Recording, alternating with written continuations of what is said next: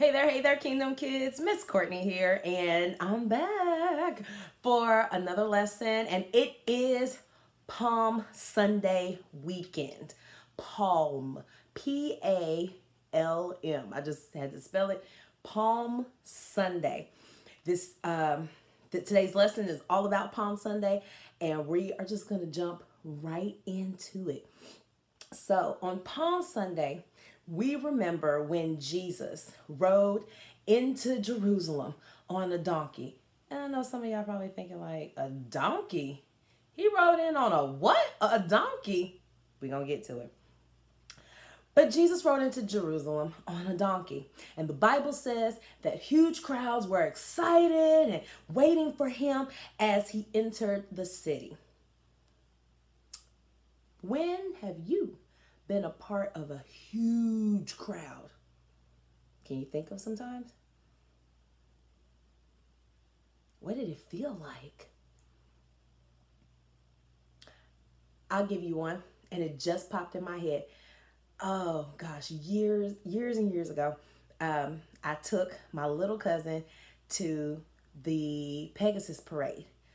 Oh my gosh, you if you've ever been to the Pegasus Parade, it's just people everywhere. People everywhere. You trying to get through. Excuse me. Excuse me. Excuse me. Excuse, uh, excuse me. Pardon me. I'm sorry. Oh, I'm sorry. I didn't mean to. Oh, and you're just going. And it was bananas. It was. It was. It was actually pretty crazy. But we found a really good seat, and I was very thankful to find one because she was getting tired of walking and she just wanted to see the parade. So shout out to my cousin Janaya. Hey, girl. Um, but that was exciting um, and then everybody cheering and yelling. It was just a good time. So if you thought of a time when you were a part of a huge crowd, go ahead and just get that in your brain and what it felt like. And I don't want to say how exciting it was because some people don't really like huge crowds. Some people, excuse me, for some people, huge crowds make them nervous. So, you know, it all depends on who you are and how you feel. So, we are going to jump into our lesson and I am going to read to you the story of Jesus entering Jerusalem as a king. And this comes from, excuse me, this comes out of the International Children's Bible from Matthew chapter 21. And I'm going to read verses 1 through 11. Jesus and his followers were coming closer to Jerusalem. But first, they stopped at Bethphage at the hill called the Mount of Olives. From there, Jesus sent two of his followers into the town. He said to them, Go to the town you can see there. When you enter it, you will find a donkey tied there with its colt, its baby. Untie them and bring them to me. If anyone asks you why you are taking the donkey, tell him the master needs them. He will send them back soon. This was to make clear the full meaning of what the prophet said. Tell the people of Jerusalem, your king is coming to you. He is gentle and riding on a donkey. He is on the colt of a donkey.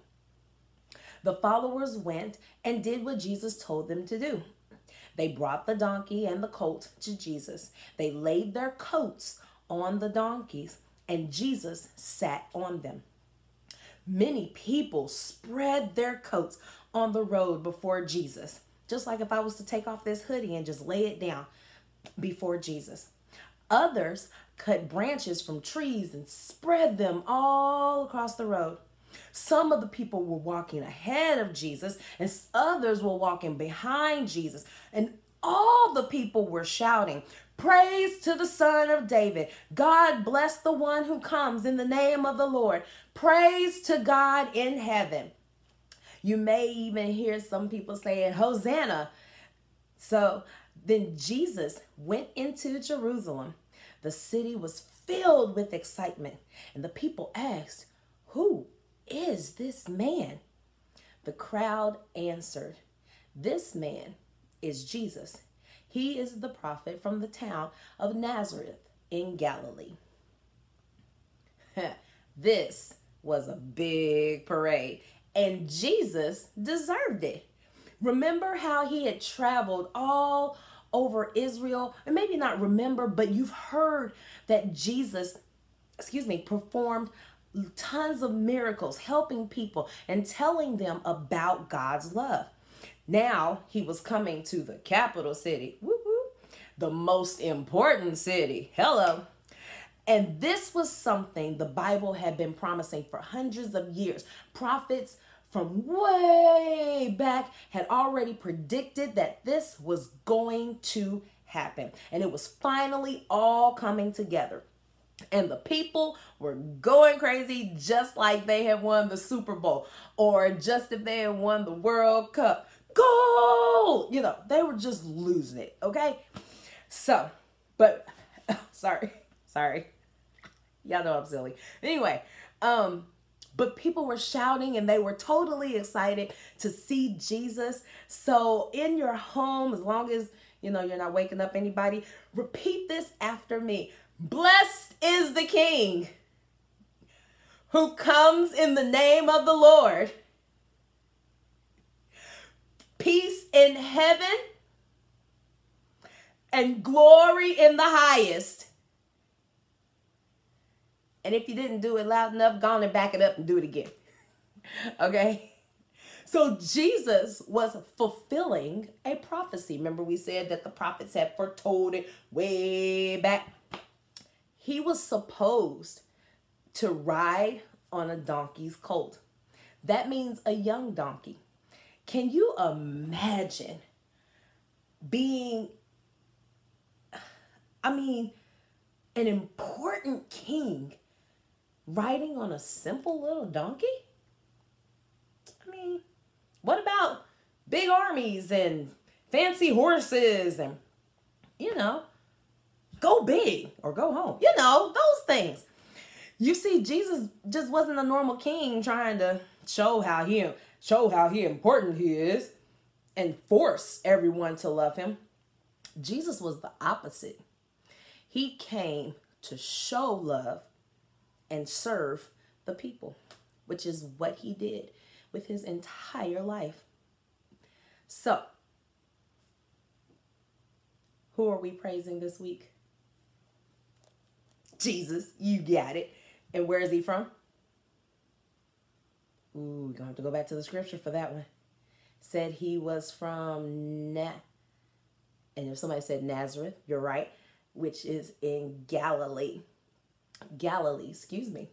Was he a rich king? Mm-mm. And why did he come? We just said it.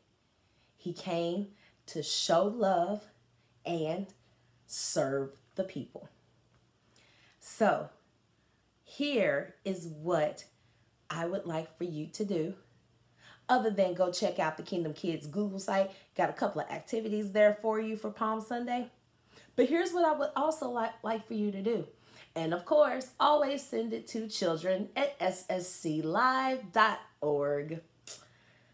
Think about somebody you'd be excited to see in person. Think about somebody who you want to see in person. Now, I want you to tell if you treat that person the same as you would treat Jesus. Ooh, that's like an open response question.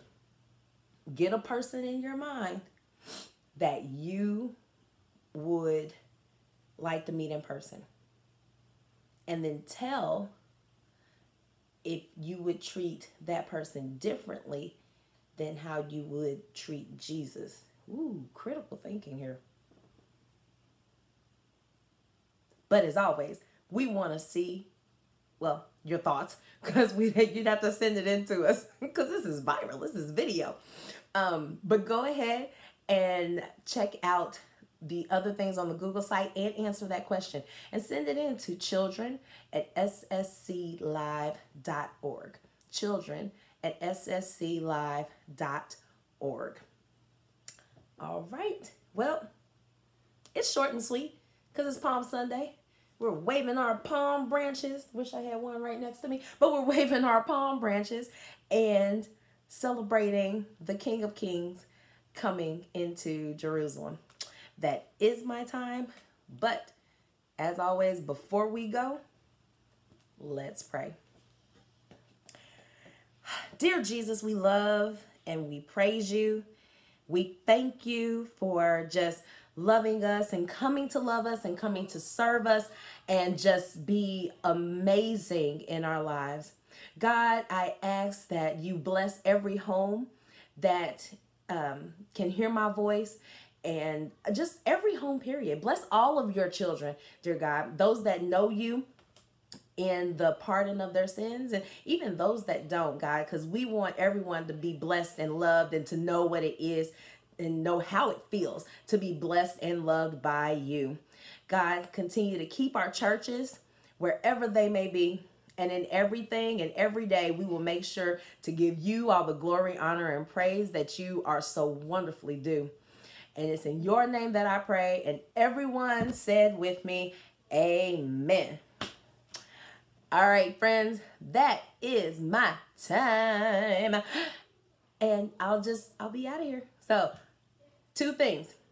Make sure you think of someone that you would like to meet and compare, contrast school stuff and compare, contrast, um, and contrast how you would uh, would you treat them differently? Would you treat uh, that person and Jesus the same? And we want to see that. Don't and don't forget to check out the Google site. Got a couple of activities there for you to do, and you can take pictures of it and send it in to children at ssclive.org. That is all, my friends. Until next time, I love you guys, and I'll see you around. Bye.